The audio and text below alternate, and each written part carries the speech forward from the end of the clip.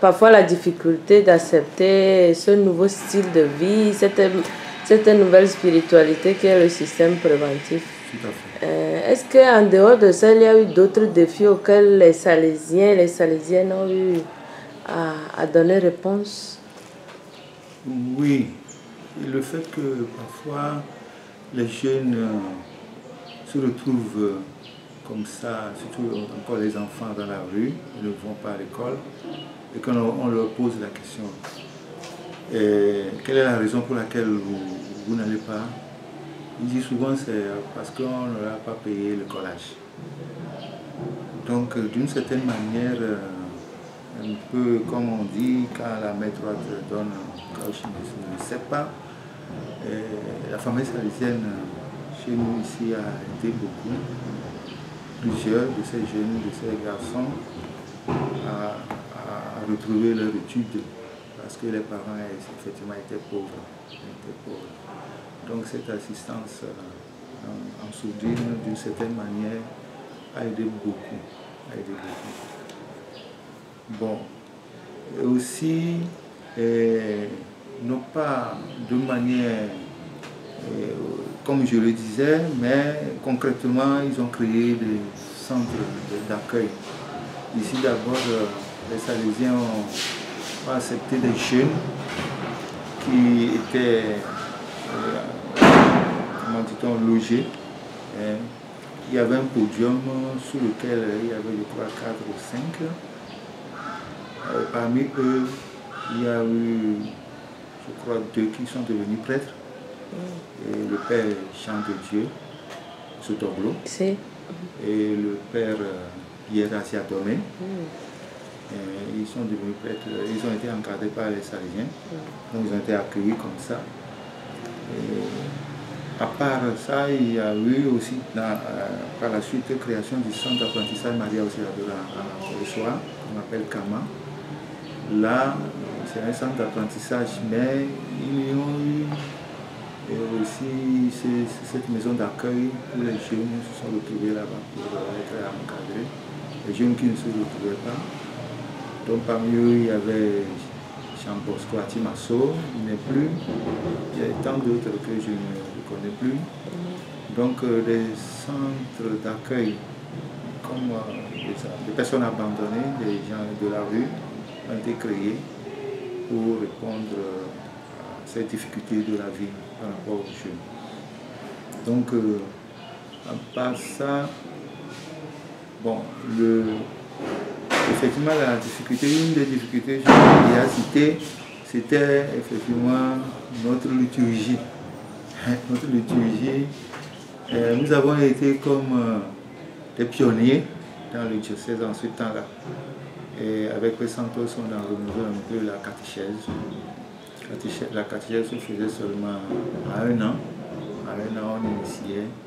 Mais avec les Salésiens, et la catéchèse a commencé en 90 à être faite en trois ans. Le cas KT1, KT2. Comme Et- un parcours. comme un parcours tout à fait. Mais c'est ça sur un tollé de par euh, les paroisses qui sont tout autour de nous. Et même dans le milieu, dire mais à côté ici, c'est en un an, pourquoi il faut faire trois ans comme parcours? Parfois, les gens quittaient, nous quittaient pour ces paroisses se faire initier avant ceux qui sont inscrits ici. Et pour la liturgie, effectivement, euh, nos chants euh, en latin, comme je le disais, ils, ils nous ont permis de renouveler. Et je connais la famille Ameganvi. Ameganvi, un certain un fils d'Ameganvi a permis d'abord de créer, de, de, afin de, de, euh, de créer la messe, une messe élevée qui a été très populaire en éveil et qui est chantée jusqu'au jour d'aujourd'hui. Et cela aussi une innovation et une émulation aussi dans nos célébrations liturgiques. Donc l'esprit salésien, au départ effectivement, été très difficile à accepter. Très difficile parce qu'il fallait la douceur, il fallait la douceur, il fallait beaucoup de patience. il fallait aussi la raison, comprendre, et souffrir plus davantage que, que, les jeunes eux-mêmes pour les, pour les faire ressortir de leur situation. Donc, euh, c'était pas facile pour nous qui étaient à côté des Salésiens, c'était pas facile. On, les regardait faire, on les écoutait. Et petit à petit, ça nous a regagné. Donc, euh, on avait tellement crié, on les avait critiqués beaucoup. Parce que nous étions et nous avons la lenteur, on disait c'est la vie, la vie facile. Bon, quand on réussit, on réussit, quand on ne réussit pas, bon, qu'est-ce peut faire On est là-dedans. mais alors avec euh, la patience, la douceur et l'insistance, la manière d'exiger aussi ce qu'on doit faire a fait que nous avons remonté un peu la pente. Et aujourd'hui, selon vous, quels sont les nouveaux défis auxquels les Salésiennes et les Salésiens doivent faire face? Ou en tant que famille salésienne Oui. sûrement dans, dans, dans, plusieurs milieux, c'est le chômage. C'est le chômage. Et cela frappe beaucoup la, la jeunesse parce qu'ils font des études, mais après, ils ne se retrouvent pas. Et les, les écoles aussi, l'effectif est énorme. Je ne sais pas si.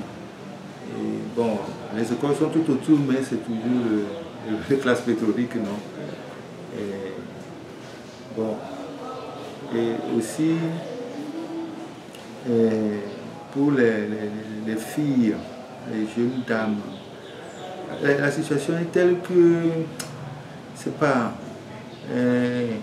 il y a un abandon, une démission une démission des parents, ce qui fait que les filles s'engagent davantage euh, dans une vie, une vie facile, se donnent comme ça et après se retrouvent seules avec enfants dans les bras.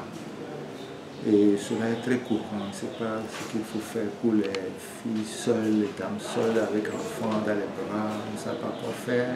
Après, elles vont se faire bonnes, et de, travailleuses de maison, mais sont là exploitées aussi.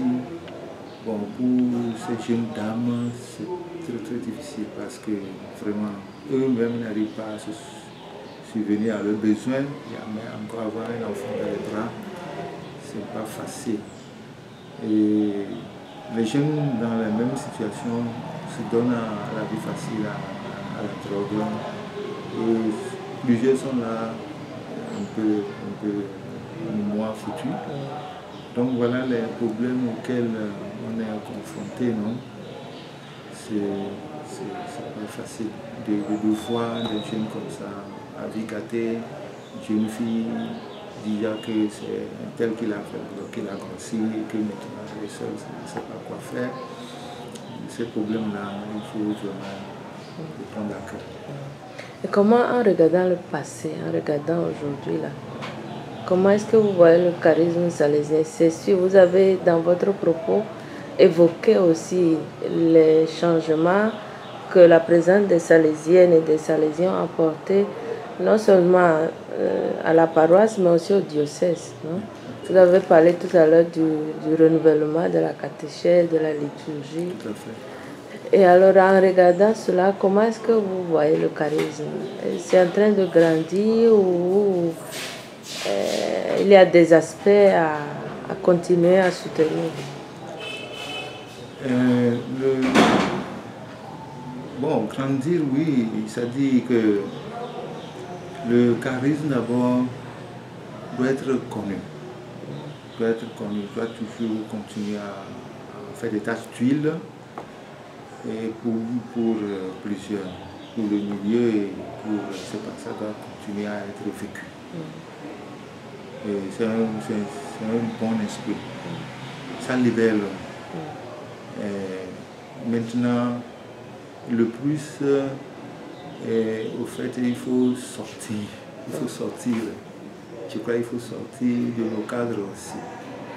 Il faut sortir parce qu'effectivement, on, on on, le fait, on, mène cette vie dans, notre milieu.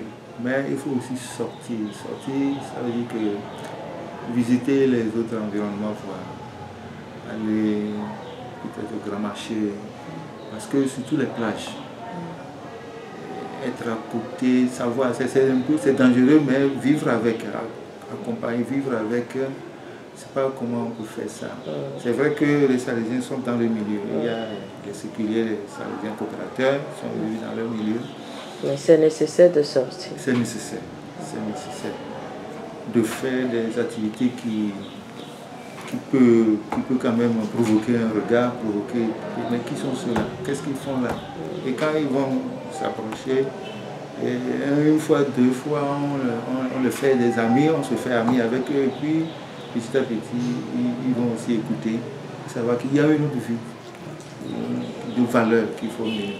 Il faut sortir. Il faut sortir dans le cadre. Parce que souvent, les choses se font dans le cadre. L'oratorio ici, l'oratorio de Caillé, à Corée-Sewa, bon, on va sur nos communautés, oui, mais je crois qu'il faut aussi ouvrir, aller, les ouvrir, les, ouvrir les portes et aller sortir un peu. Sinon, nous, moi, je sais qu'en regardant plusieurs jeunes, tous ceux qui sont passés sur la paroisse, et s'ils ne font rien aujourd'hui, ils sont des gens qui ont de bonnes idées, ils peuvent aussi accompagner, ils peuvent être capables d'accompagner d'autres à, mener de bonnes vies.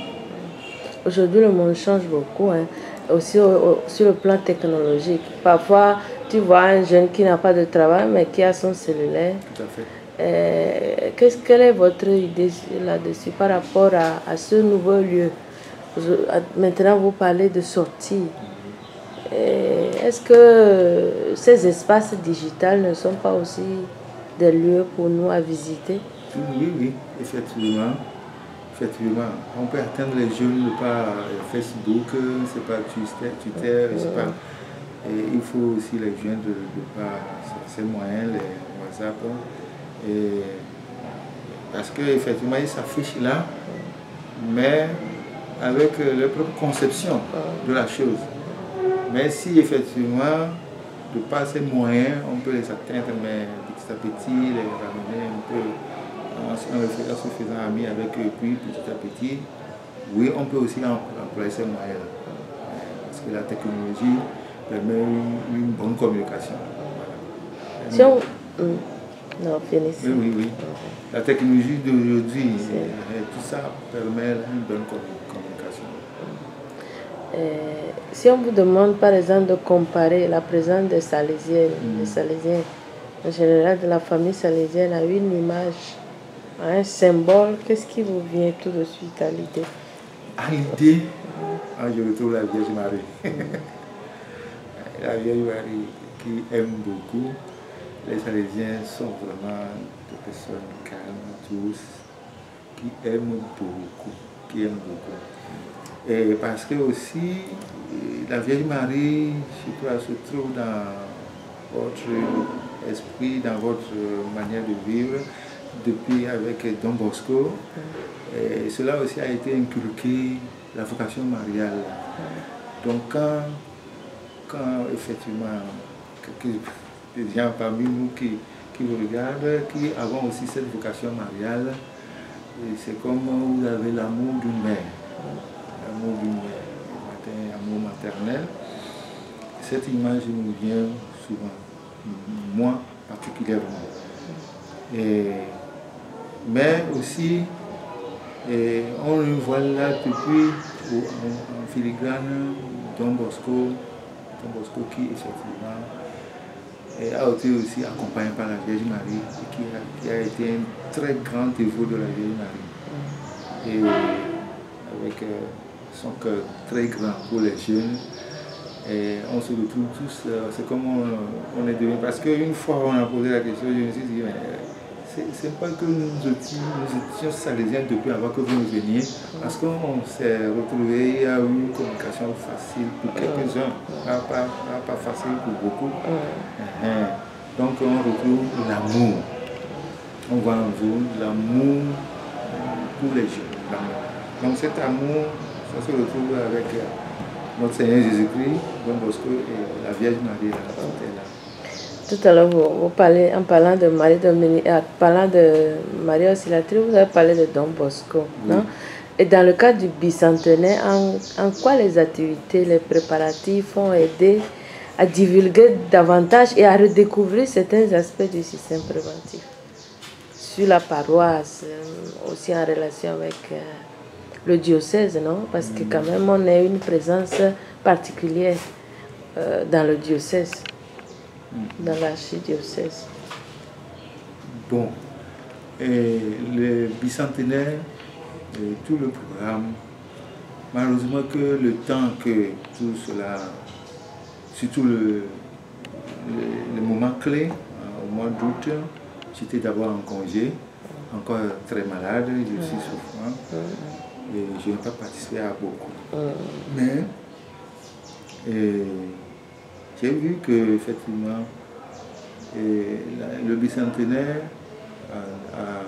a, eu un impact dans le cas où surtout l'ordination des religieux et a fait regrouper plusieurs, plusieurs comboniens, franciscains, missionnaires d'Afrique,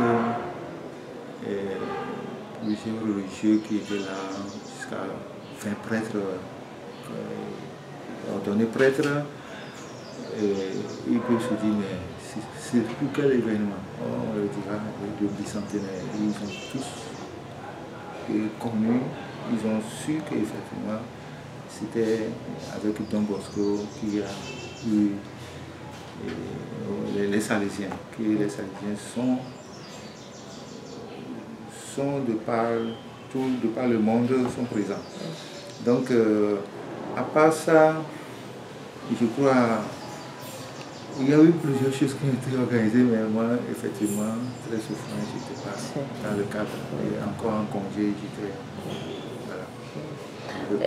Euh, on connaît beaucoup Don Bosco, on connaît en faisant l'interview à plusieurs personnes, je me suis rendu compte que le, la figure de, Marie, de Sainte Marie Dominique, non, pas pour faire compétition ni comparaison, mais comme une figure de sainteté à proposer aux mamans, aux jeunes filles, euh, peut-être me semble encore un peu loin. Oui, euh. oui, oui, beaucoup loin. Mm. Beaucoup loin. Et vous pouvez le remarquer, quand, quand je parlais de, de, Salésien, je n'ai pas fait sortir le nom de Marie Dominique. Ça veut dire que je l'ai connu peu. Donc, euh, je crois qu'il faille ce travail-là. Parce que c'est comme elle est étrangère. À mon niveau, c'est comme elle est étrangère. Ça peut l'être aussi pour beaucoup d'autres personnes. Donc, il faut la faire connaître davantage.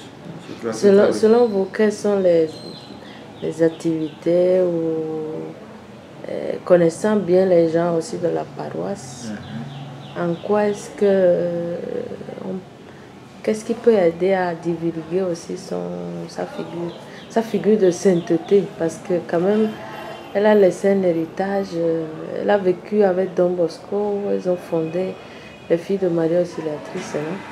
Donc dans ça, c'est la même spiritualité, mais elle a quelque chose de particulier aussi à dire aujourd'hui, dans ce contexte, parce qu'elle a vécu aussi dans un contexte très très pauvre comme, comme celui de Don Bosco. Mhm. je crois qu'il faut communiquer là-dessus. De quelle manière? Il faut que, de temps surtout les projections, dans les projections, il faut d'abord la présenter, ses origines, comme on fait souvent pour Bosco, euh, projeter beaucoup de films sur son histoire, euh, sa personne, ce qu'elle a fait, comment elle a vécu, en parler davantage. Parce que effectivement, si on communique davantage sur elle, c'est partir de là qu'on pourra la connaître, savoir comment elle a vécu, dans quelle situation, et puis comment elle est arrivée à devenir, elle, a, elle arrive à devenir, elle est arrivée à devenir sainte, non? Comment, quelle a été sa lutte pour arriver à là, ça peut être aussi un modèle, modèle parce que quand souvent on parle, Salésien, pour nous, directement c'est Don Bosco, mais Marie-Dominique est un peu loin. Un peu loin. Donc organiser des rassemblements, parler là-dessus et représenter aux jeunes. C'est ça. Et comment est-ce que vous voyez l'avenir? L'avenir pour nos jeunes Pour nos jeunes, pour le charisme salésien. Parce que si nous parlons de jeunes, c'est lié à, étroitement au charisme. Tout à fait. Parce que sans les jeunes, nous n'existons pas, non? Et- Mais quelle est votre perspective d'avenir en voyant tout ce qui a été fait, tout ce qui se fait avec euh, des choses à améliorer? Comment est-ce que vous voyez le futur? Euh, très porteur parce que euh, l'arbre a, grandi davantage. C'est la famille salésienne s'élargit davantage. Et surtout quand elle travaille consciencieusement avec euh, les jeunes, les enfants, il y a une réponse, il y a un- un- une réponse, euh, quelque chose de retour qui est très positif. D'abord, quand ils se reconnaissent et, et ils arrivent à, à retrouver leur vocation aussi.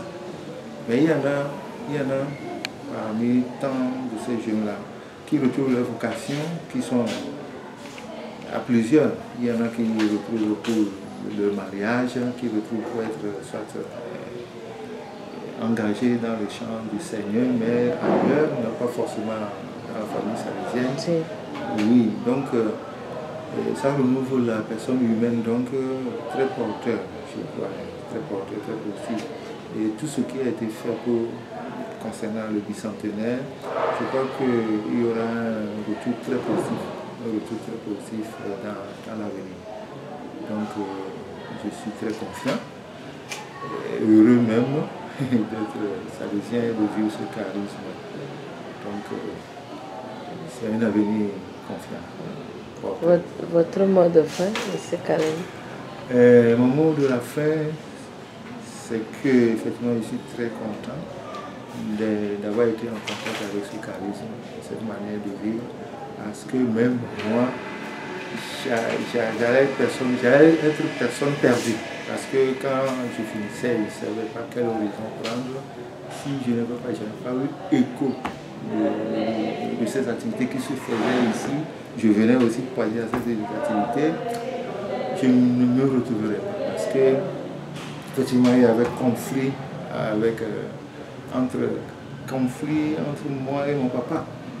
Il était difficile pour moi de vivre en famille. J'allais me retrouver quelque part. Aujourd'hui, je ne sais pas ce que je pourrais devenir. Et donc, je remercie le Seigneur pour ce qu'il a, fait naître l'esprit de Don Bosco, dans la vie de Don Bosco, qui, qui avait, constaté ce dégât qui, qui rongeait les enfants, les, les jeunes, ce moment-là. Il a fait grandir en lui et qu'aujourd'hui, ça, ça rend les gens, les jeunes sains. Eh. Donc, euh, je dis grand merci au Seigneur.